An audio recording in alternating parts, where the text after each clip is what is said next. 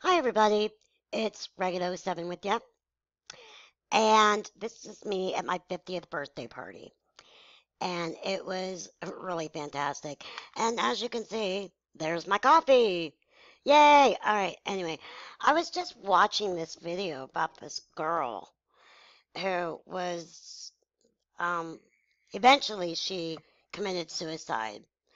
And to me, mm, that, that hits a soft spot really does. Um, I got thinking about something. For number one, I'm so glad that I can be able to celebrate my 50th birthday. Um, now, as you guys know, I'm generally a pretty, pretty okay person.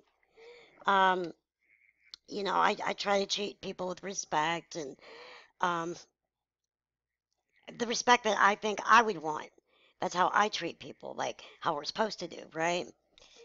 And I was watching this video about this girl who was um, who committed suicide,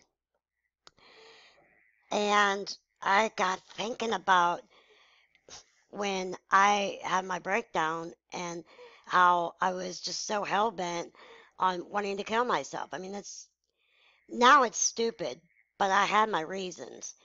Um, I had an argument with some people, and they took it to another level. And the one guy, his name was Kurt, he's dead now.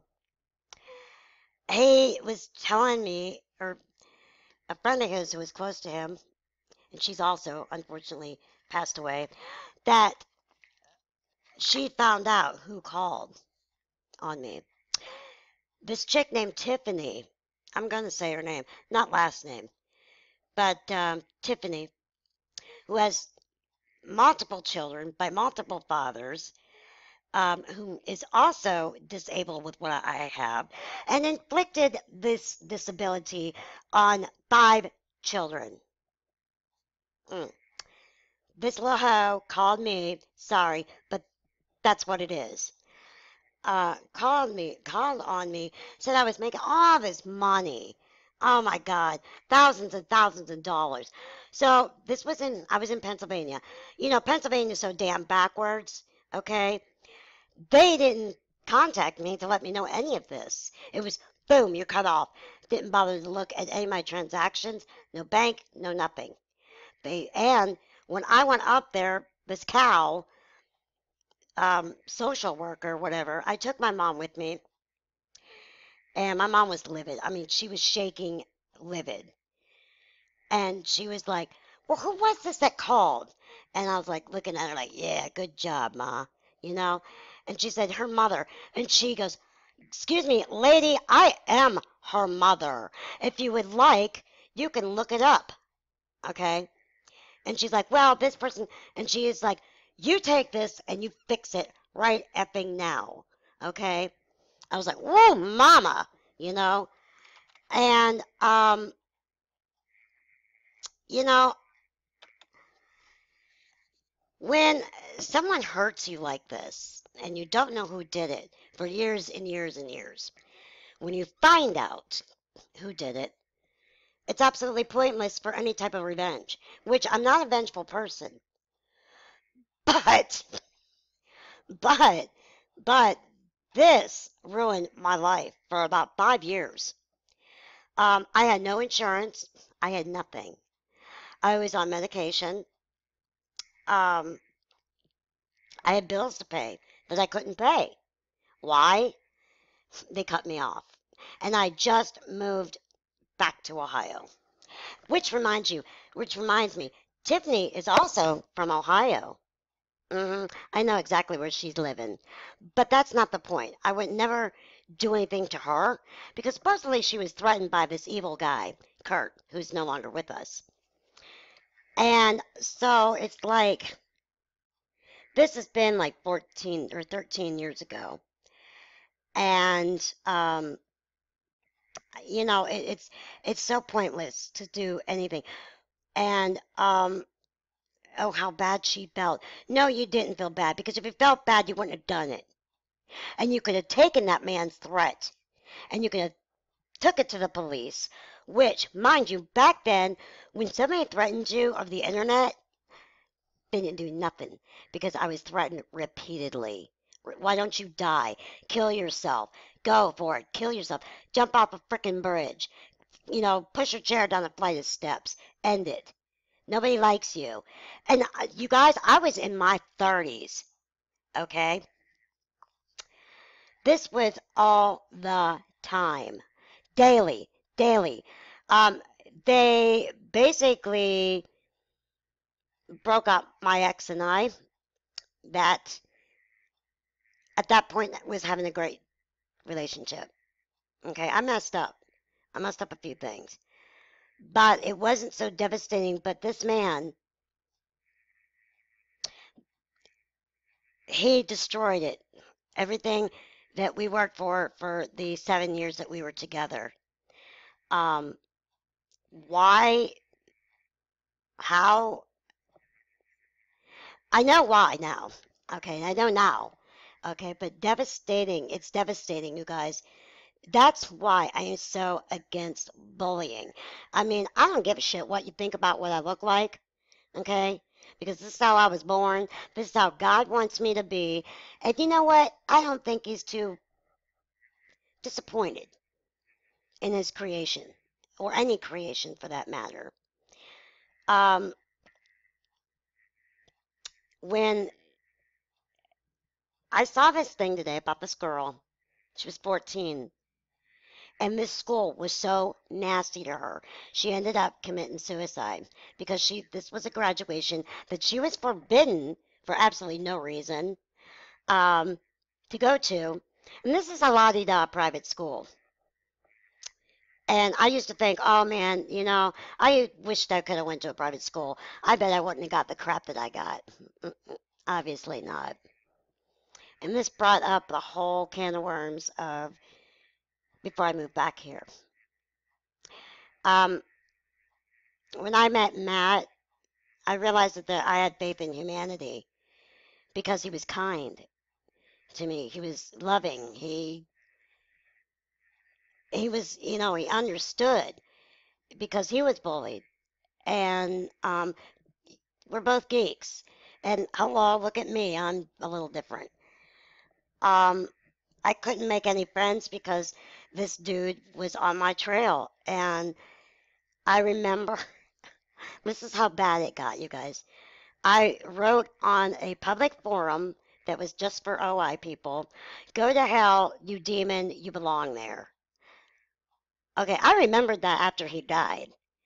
Okay, and I was like, oh shit, you know what I mean? And I wrote it really big letters, you know, let you know I'm screaming. Um, all I can say is I hope, because I am not the only person that he has done things like this to, was not. The only thing I can hope for is God understood that this man was sick.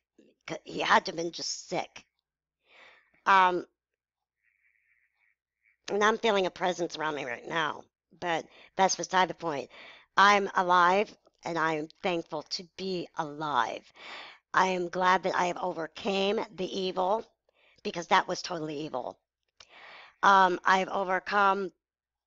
I feel pity for this woman. I feel a lot of pity for her. Number one, she screwed everything that moved because, you know, a lot of people with disabilities, I'm not saying all of us because I never did, will screw around just because that makes them feel like a woman. Otherwise, they don't feel like a part of what do to put the love food chain okay? And i can understand. I totally get that you know? I would go out with guys and they say you know i've never been with a woman in a wheelchair or a woman with a disability. I'm like and you're not going to. If you want to be with me because of a fetish of yours get the hell out okay? Just get out. And that happened quite a bit um, I'm like, you're disgusting. You know, first of all, I personally don't think I would do me, you know, but that's beside the point. You know what I'm saying? It's like, I had a relationship with two disabled guys, and It was a disaster. They had so many emotional, mental issues that I couldn't take it. I couldn't take it. And so I just want to say, you know, you can forgive those who've screwed your life up, but you can't forget. You absolutely cannot forget. I can't forget. Um, and I half-heartedly forgive, and that's not good because God does not want me to be this way. Okay, to hold this grudge for how many years has it been? Thirteen.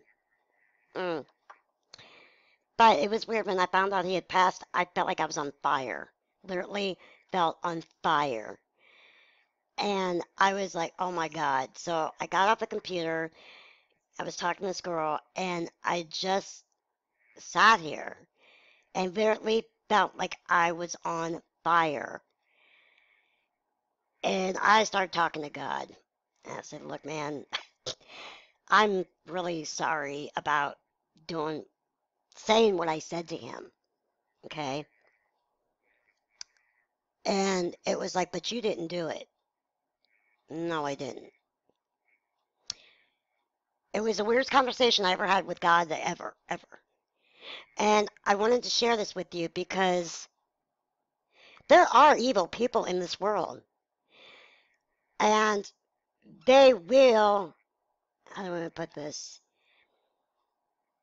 They have to own up to their consequences, I guess you say.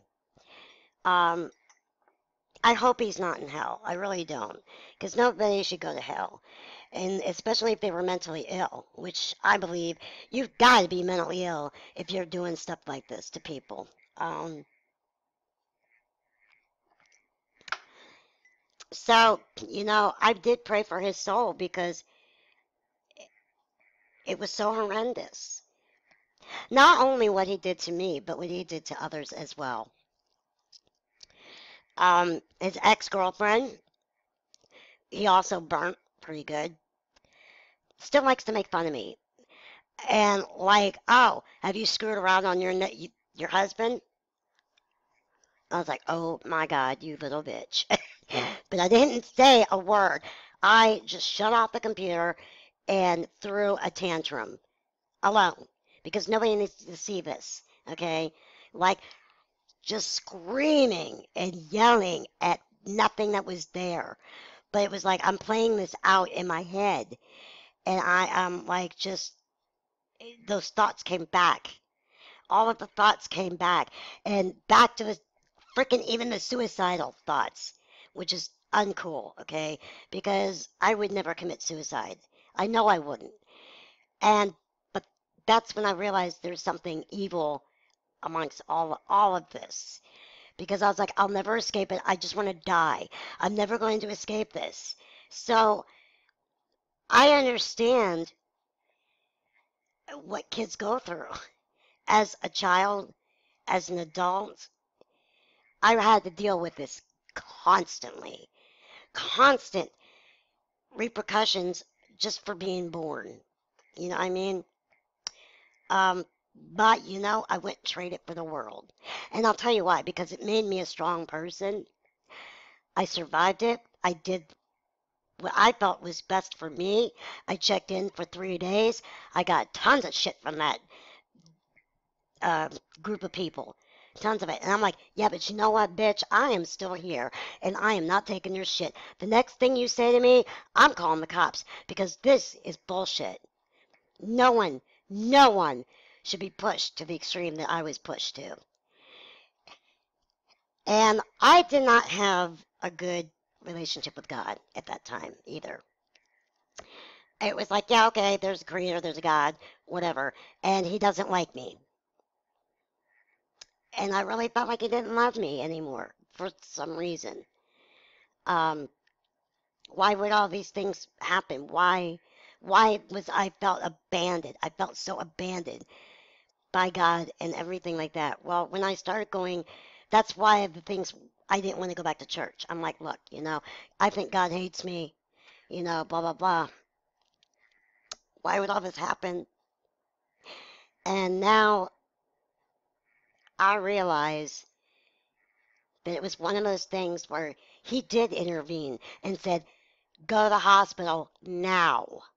It's not going to be easy. It's going to get rough, but you got to do it. And I did. And it's the best thing I ever did. I proved to myself I could live on my own. I didn't need anybody. I was worth something.